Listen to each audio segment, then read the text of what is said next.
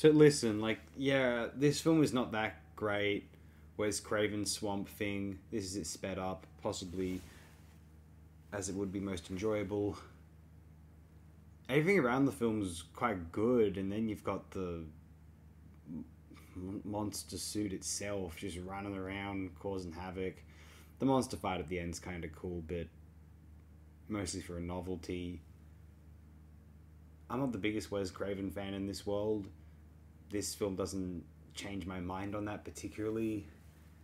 It would be interesting to realize a really good Swamp Thing film. And you see, even before Alan Moore, which is where this film is released at that period, there's sophistication and a certain grace to the Swamp Thing comic books when he was created and first written by writer Len Wein. Well, you may not know much about Swamp Thing, so I'm going to use this video as an opportunity to to educate you all, anyone who isn't familiar with Swamp Thing. Wikipedia is going to be assisting me here. The Swamp Thing is a superhero of sorts in American comic books published by DC Comics, a humanoid slash plant elemental creature created by writer Len Wein and artist Bernie Wrightson. The Swamp Thing has had several humanoid or monster incarnations in various different storylines. The character first appeared in House of Secrets number 92, July 1971, in a standalone horror story set in the early 20th century. The character then returned in a solo series set in the contemporary world and in the general DC continuity. The character is a swamp monster that resembles an anthropomorphic mound of vegetable matter and fights to protect his swamp home, the environment in general, and humanity from various supernatural or terrorist threats, his arch nemesis being the sorcerer Antoine Arcane. The character found perhaps its greatest popularity during the original 1970s Wein slash Wrightson run and in the mid late 1980s during a highly acclaimed run under Alan Moore, Stephen Bissette, and John Totleben. Swamp Thing would also go on to become one of the staples of the Justice League Dark team of magical superheroes. The character has been adapted into from the comics into several forms of media, including feature films, television series, and video games. The character made its live action debut in the film Swamp Thing 1982, with Dick Durock playing the Swamp Thing while Ray Wise played Alec Holland. Durock played both Swamp Thing and Holland in the sequel film The Return of Swamp Thing 1989. Durock reprised the role again in the television series Swamp Thing 1990. The Swamp Thing was played by Derek Mears, with Andy Bean playing Alec Holland in the television series Swamp Thing 2019. Another live action film adaptation titled Swamp Thing is in development as an installment of the DC Universe DCU media franchise. IGN ranked him 28th in the top 100 comic book heroes list.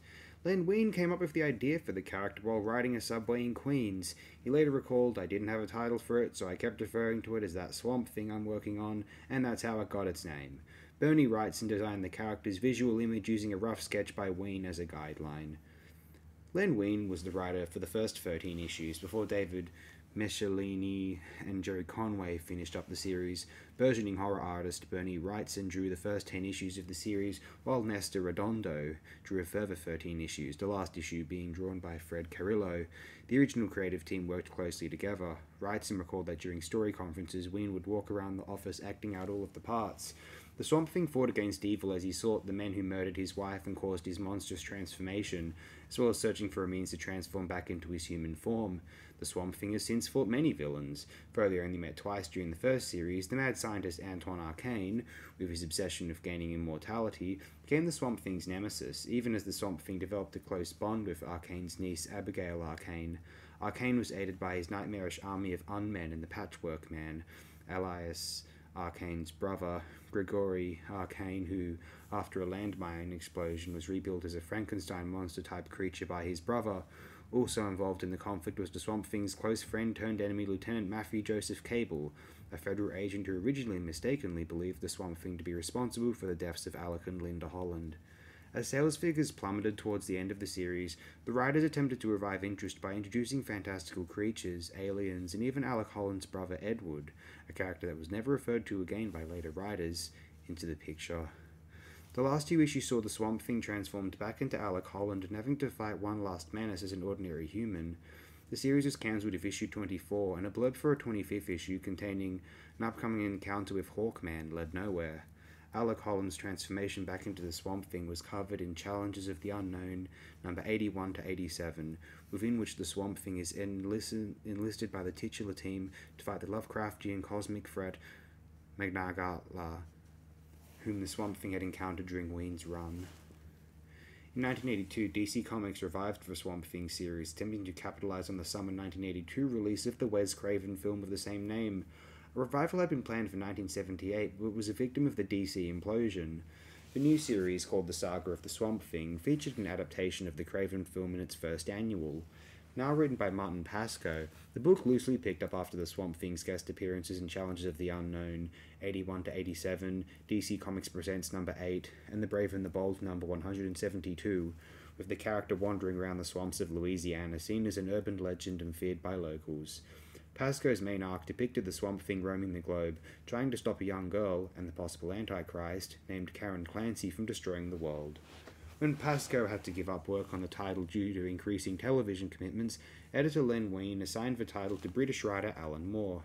When Karen Berger took over as editor, she gave Moore free rein to revamp the title and the character as he saw fit. Moore reconfigured the Swamp Thing's origin to make him a true monster, as opposed to a human transformed into a monster.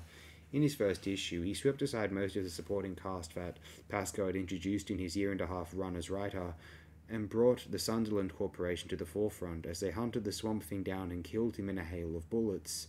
The subsequent investigation revealed that the Swamp Thing was not Alec Holland transformed into a plant, but actually a wholly plant based entity created upon the death of Alec Holland, having somehow absorbed duplicates of Holland's consciousness and memories into himself.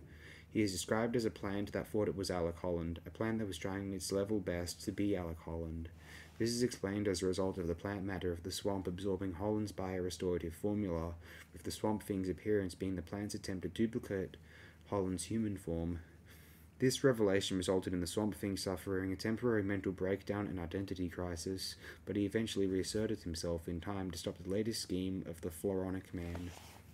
Issue number 32 is a strange twist of comedy and tragedy, as the Swamp Thing encounters an alien version of Pogo, Walt Kelly's character. Moore would later reveal, in an attempt to connect the original one off Swamp Thing story from House of Secrets number 92 to the main Swamp Thing canon, but there had been dozens, perhaps hundreds, of Swamp Things since the dawn of humanity, and that all versions of the character were designated defenders of the Parliament of Trees, an elemental community which rules a dimension known as the Green that connects all plant life on Earth. Moore's Swamp Thing broadened the scope of the series to include ecological and spiritual concerns while retaining its horror fantasy roots. In issue 37, Moore formally introduced the character of John Constantine the Hellblazer as a magician slash con artist who would lead the Swamp Thing on the American Gothic storyline. Alan Moore also introduced the concept of the DC characters Cain and Abel being the mystical reincarnations of the biblical Cain and Abel, caught in an endless cycle of murder and resurrection. The Saga of the Swamp Thing was the first mainstream comic book series to completely abandon the Comics Code Authority's approval. With issue number 65, regular penciler Rick Veitch took over from Moore and began scripting the series, continuing the story in a roughly similar vein for 24 more issues. Veitch's term ended in 1989 due to a widely publicized creative dispute when DC refused to publish issue 88 because of the use of Jesus Christ as a character, despite having previously approved the script in which the Swamp Thing is a cupbearer who offers Jesus water when he calls for it from the cross. The series was handed to Doug Wheeler, made the cup that the Shining Knight believed to be the Holy Grail to be a cup used in a religious ceremony by a Neanderthal tribe that was about to be wiped out by Cro-Magnons in the published version of issue 88. Beginning in issue 90, Wheeler reintroduced Matango, a character that Stephen Bissette had introduced in Swamp Thing Annual Number 4, after a period of high creative turnover, in 1991, DC sought to revive interest in Swamp Thing by bringing horror writer Nancy A. Collins on board to write the series. Starting with Swamp Thing Annual Number 6, Collins moved on to write Swamp Thing Volume 2, number 110 to 138, dramatically overhauling the series by restoring the pre Alan Moore tone and incorporating a new set of supporting cast members into the book. Collins resurrected Anton Arcane, along with the Sunderland Corporation, as foils for, foils for the Swamp Thing, her stories tended to be ecologically based and at one point featured giant killer flowers. With issue number 140, March 1994, the title was handed over to Grant Morrison for a four issue story arc co written by the then unknown Mark Millar. As Collins had destroyed the status quo of the series, Morrison sought to shake the book up with a four part storyline which had the Swamp Thing plunged into a nightmarish dream world scenario where he was split into two separate beings Alec Holland and the Swamp Thing, which is now a mindless being of pure destruction. Millar then took over from Morrison with issue number 144 and launched what was initially conceived as an ambitious 25 part storyline where the Swamp Thing would be forced to go upon a series of trials against rival elemental forces. Millar brought the series to a close with issue 171 in a finale where the Swamp Thing becomes the master of all elemental forces, including the planet. Written by Brian K. Vaughan and drawn by Roger Petersen and Giuseppe Camuncoli in 2001, the third Swamp Thing series focused on the daughter of the Swamp Thing, Tefé Holland. Even though she was chronologically 11 and 12, the series had Tefé aged into the body of an 18 year old with a mind wipe orchestrated by the Swamp Thing, Constantine, and Abby to try to control her darker impulses, brought about by her exposure to the Parliament of Trees. Due to the circumstances under which she was conceived, the Swamp Thing, possessing John Constantine, was not aware that he was given a blood transfusion by a demon. She held power over both plants and flesh. Believing herself to be a normal human girl named Mary, who had miraculously recovered from cancer three years prior, she rediscovers her powers and identity when she finds her boyfriend and best friend betraying her on prom night. In a moment of anger, her powers manifest and she kills them both. Tiff then fakes her own death and embarks on a series of misadventures that take her across the country and ultimately to Africa in search of a mythical tree of knowledge. During this series, it seems that the Swamp Thing and Abigail have reunited as lovers and are living in their old home in the Louisiana swamps outside Houma.